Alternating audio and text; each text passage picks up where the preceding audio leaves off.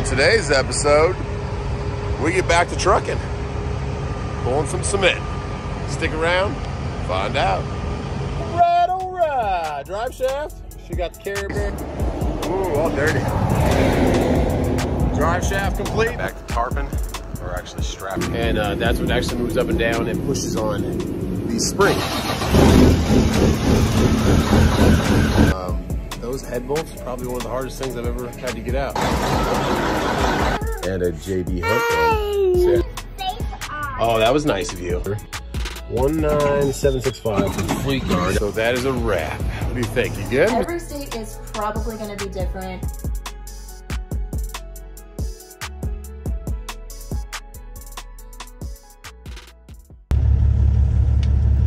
And we are back to work.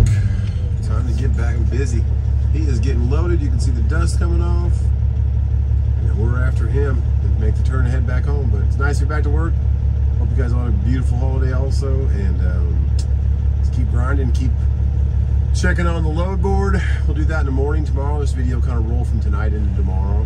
And I'm see what, what is along the horizon of fun events and cool things or tragic things, hopefully not. And uh, yeah, just keep rolling it. Let's get loaded up here and then get back towards the house. She's loaded. It's dusty. Let's make the turn.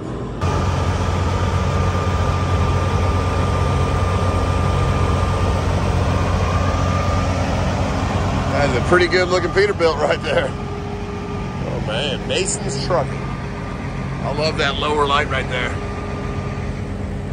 That's cool. Nice truck, nice reefer.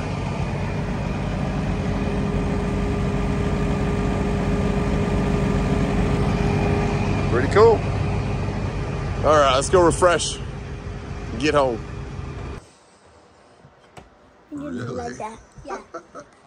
Like that. He says, Dad, what goes psst? And it says the air brakes. What happened to your uh, doors back there? You lost them? Yeah. Uh, it's wide then- open. It just broke. Oh, See, I make it. Boom. oh yeah. There it Ooh, just all right. Well, I got to get back to work. But first, let's check out some loads Yeah. on Truck Smart. Can I come? You want to come Yeah. to work? Yeah. Uh, I don't know if you want to do cement, but maybe. Okay. Well, then, on a Wednesday, the last day of May, let's see what we got going on Truck Smarter. Completely free app. Go check it out. At least sign up for it. Get your email in there to get the updates of everything they got going on.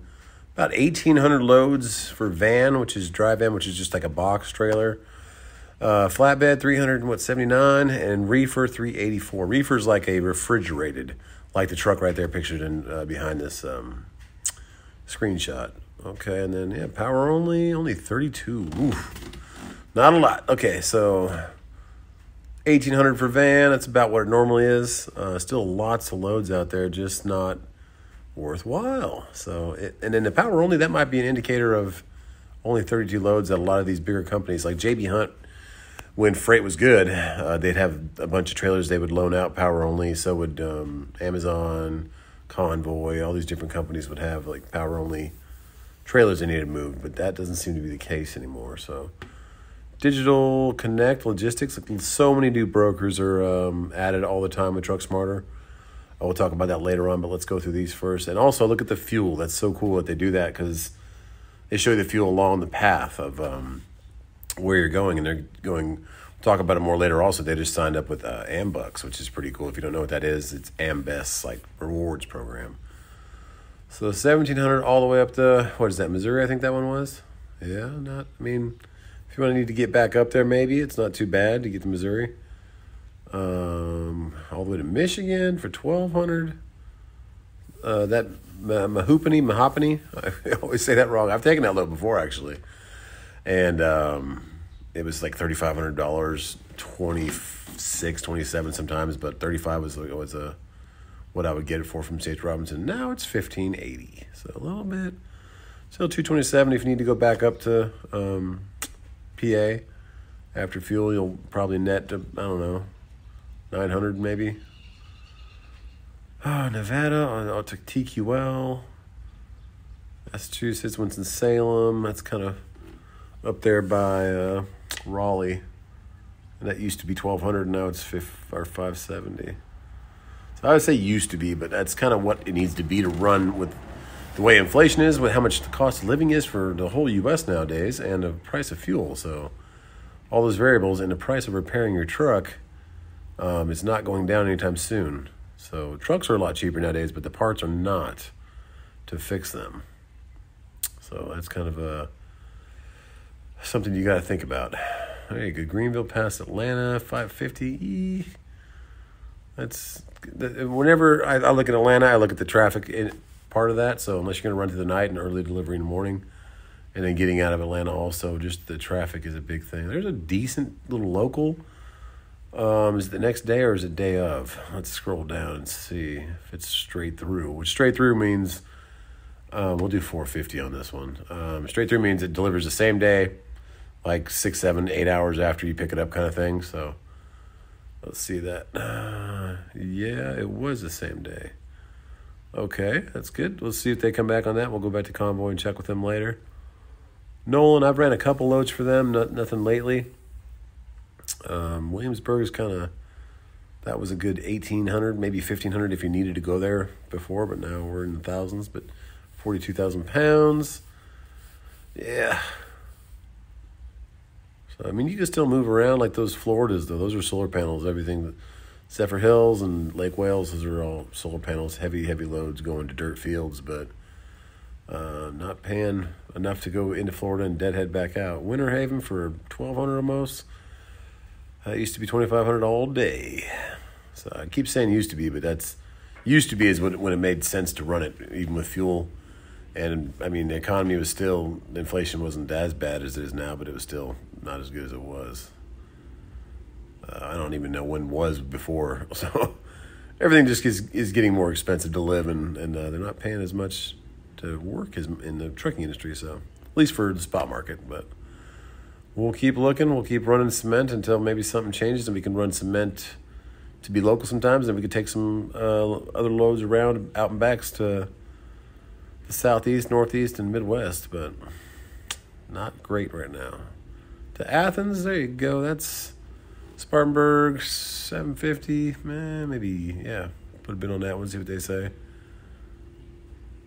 All right, but that cool thing about Truck Smarter is it brings all these apps together, and then it also is adding all these new brokers. But I really only knew the bigger ones when I started: CH Robinson, Coyote, of course the TQL, the JB Hunt, the Convoy. Uh, but now I'm getting all these other new ones, but it's just not. There's a lot of loads. They're just not paying. Like AMX, I've never heard of them until Truck Smarter, and I've ran probably ten loads for them now. Um, when they have, need something run, they will definitely work with you on the rate, but. 23 let's go for $4 a mile because you got to figure $2 a mile maybe going in and then deadheading $2 a mile coming out. So just double that $2 a mile if you want to go to Florida. Uh, try to stay in the four or five dollar range because you're going to be coming out empty. At least with the dry van, the reefer market you might have more, and sometimes during like different produce seasons, and you'll have opportunities for van, but uh, you really have to go to the south of Florida to get those, I believe. Spot never ran for them, but there's something I've been seeing lately on the load board.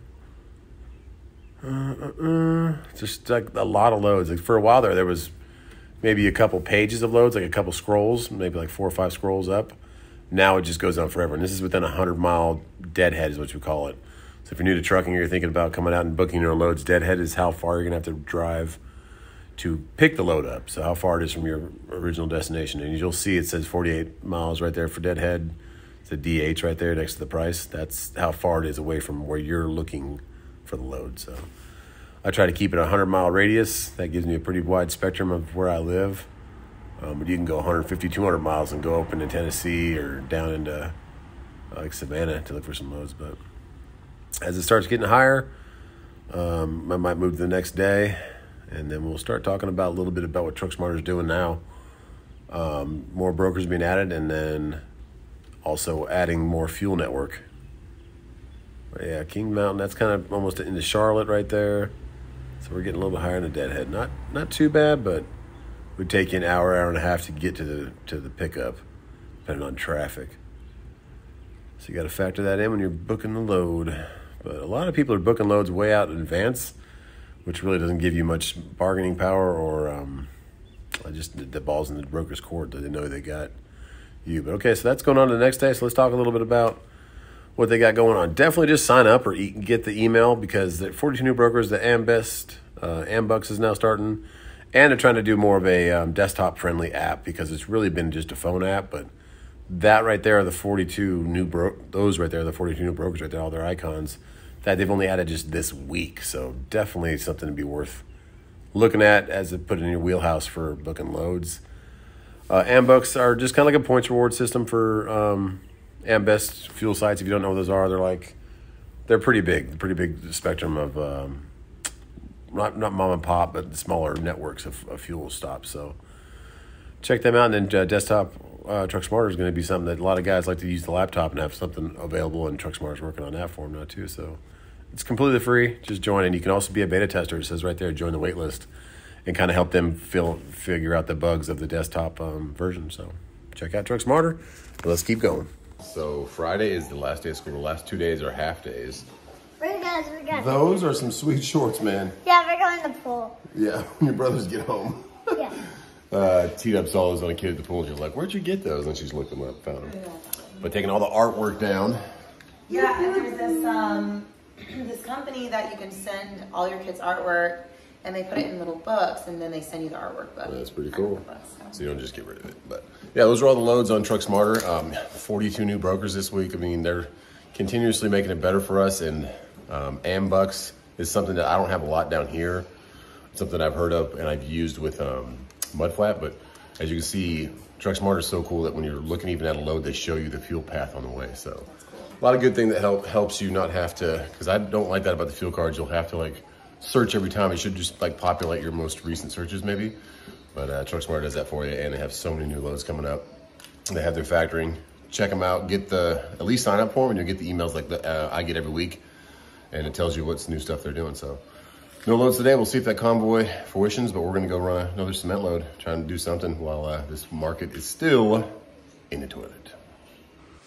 Before I get going though, I had to put the new battery in here. The other one died, so uh, put the top on. Yep. Well, let me see it. Let's see if it works. Sure. Yeah. You want to turn on the remote? Yep.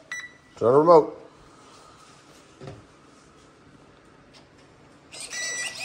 Go forward.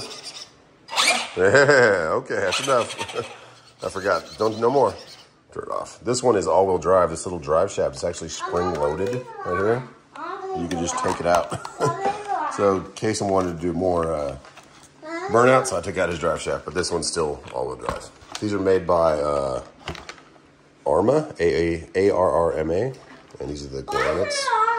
They're pretty good. They, they take a beating, but I've had to replace one motor and like three batteries. But it's been what two I years? like it on. You like it? Okay, let me uh, turn it on once I put the back the cover back on. Okay. Oh yeah. I want it backwards. And we're back in business. The truck. Oh yeah, someone's here. What's going on, baby? I gotta go to work, Bubba. It's far. I take you, but you have to come out of the truck with me when I um, get my paperwork, and uh, you can't be in the truck while they're loading it. Okay? You be good for Mama. You go to pool. Okay? All right. Go play your burnout car. I love you. You wave, you wave bye bye. Okay. Oh yeah. And the reason I'm driving my truck is the reason Gigi Van's here. Um, I love you, Baba. I'll be back in a little bit, okay? Um, is be okay. I'll honk the horn. Because uh, it's leaking at like the um, cool of the uh, oil filter housing where the oil filter screws in. That little cap they have on Toyotas it's leaking at the bolts that are holding that up to the bottom of the block. So I don't know if that goes bad, if that has cooling going through it. I didn't think there was an oil cooler right there. Maybe there is. Maybe the oil cooler is uh, leaking. So I just did her water pump for her, but after that, now this is leaking. So she's like, hey, my, my um, car keeps being low on coolant. I'm like, do you see a puddle anywhere? And she's like, no. So I bring it to my house, I fill it with coolant, I turn it on, there's a big old puddle underneath it. I'm like, all right. I jacked it up and looked at it and it was coming from the oil uh, filter housing. So let me know in the comments, any of you guys have had that happen. If you know on the 3.5 Toyota V6, if there is an oil cooler right there in that oil filter housing, which there probably is. I don't know if you've ever done it, but I've never done one of those. Oh yeah, gonna be a good day for the pool. Getting a little warmer. Let's go get another load in.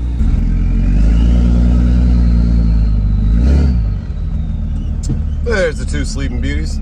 Last night, um, right over there, you see a lot of stance cars, I would call them, like um, imports that are tires are kind of bowed out, and they but they have really cool body kits. There's a pink one over there. Anyways, um, last night there was a right-hand drive uh, R34, like a GTR. So that was sitting right there on this side of the fence, where they usually are. And uh, the police, when I when I left, it was just sitting there. When I came back, the, whoever lives at this little blue house, the little uh, SUV, they like parked it behind it because it's, it's a high dollar car for especially right-hand drive. Had a cool body kit, was purple. But uh, the police were over here just checking it out. They didn't, no call, no nothing. They were just like, man, that's a nice car. It's like, it's a rare car for sure. So cool, cool to see that. But now it's gone. But let's pre-trip these guys. I fired that one up last night just to get it, keep it going. And uh, the charge air cooler, we are waiting for that. And then charge air pipes be our next thing. And then I think I'm pretty much going to wait for insurance to be renewed. And I'll just renew with that one instead of this one, depending on where the market's at.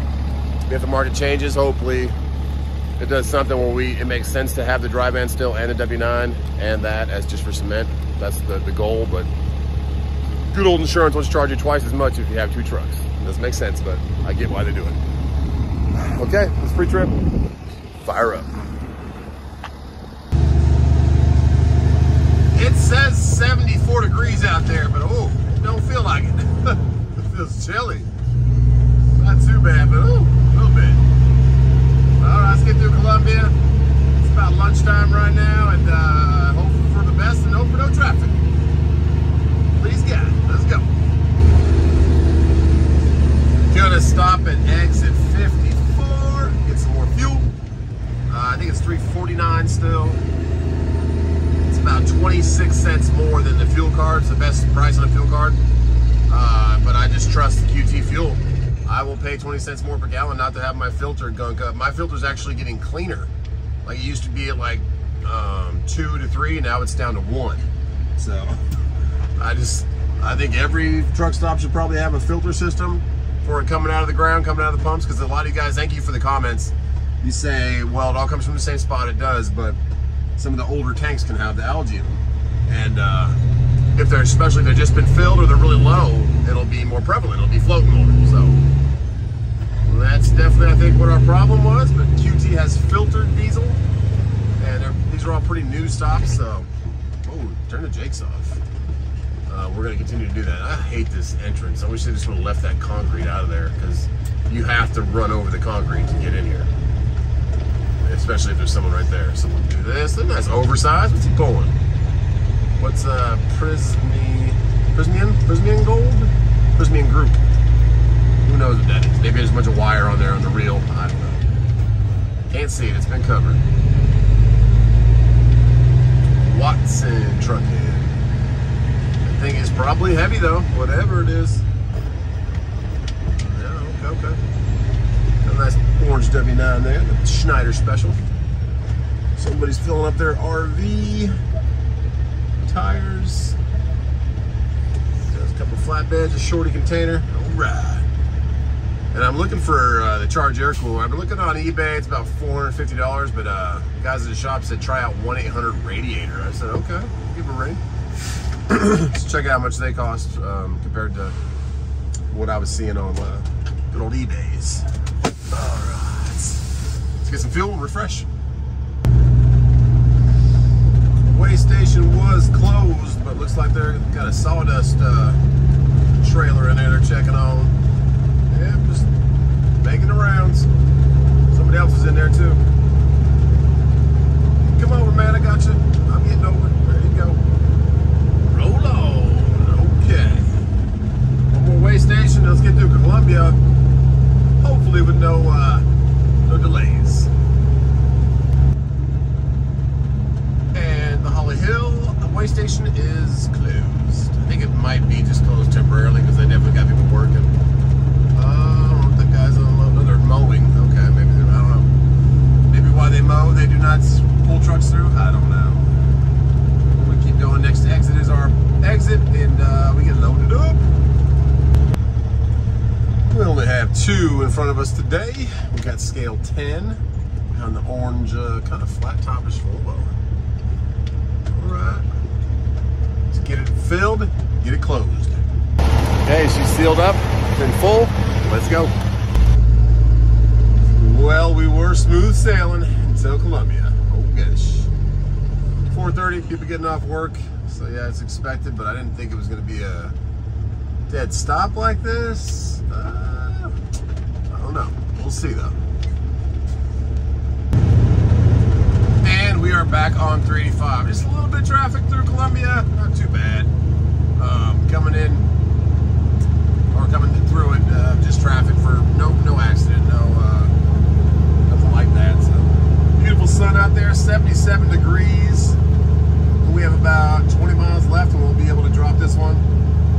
Um, there's no other empty trailers, so they have to be pumped off, is what it's called. Like, so I deliver here to the yard, and then they take them to the different distrib- distribution points, which are about five of them that they need the cement for. So um, there's no empty trailers right now; they're getting pumped off. So we'll go again tomorrow morning. Um, our babysitter's graduation tonight. We might go say hi and drop in there, make an appearance. Uh, the boys only have two half days of school left, so tomorrow and Friday, just half days. So they're almost out for this summer. Can't believe it. That's crazy. I have a kindergartner and a first grader. Next year I'll have a first grader, second grader, and one in the in the batter's box waiting to go the next year. So life is going quick, but um, we'll probably get out the lake this weekend also, weather permitting. I, hope it's warm and it's kind of crazy. We're going into June tomorrow, and uh, we're still in the 60s at night. So I think it's just a little cold front coming through here, and we'll see if we get back to the high temps um, coming up. But let's go finish up this load. Get back to the house, see the boys before they go to bed, and then get rested for tomorrow. And get some more work in. Ava, Ava, Ava graduated. Isn't that cool? Okay, well, Ava graduated. What are you, 16 graduating early? 16, graduating a whole year early. Goodness. Congratulations. What's more uh, better than I was in high school? But hey, good job. Congrats, Ava. Thanks for Thank having you. us. Oh my goodness. Oh yeah, dog pile. Okay. Well, Ava, congratulations. Thanks for having us over. It was a good time. Okay, we made it back. Not a very eventful day, which is pretty much a good thing. Help you? Oh, you gotta get down? It is beautiful sunset. Yes. Did you have fun seeing Ava graduate high school? Oh my goodness. The balloon's gonna go away. Alrighty. Well, on to tomorrow. Let's pray for another uneventful day. And uh, yeah. What do you got? Flowers? I'm just throwing Flowers. Flowers. Yeah, we'll get back to work tomorrow. Congratulations, Ava. We did fireworks this weekend, remember? Did some mortars off the dock.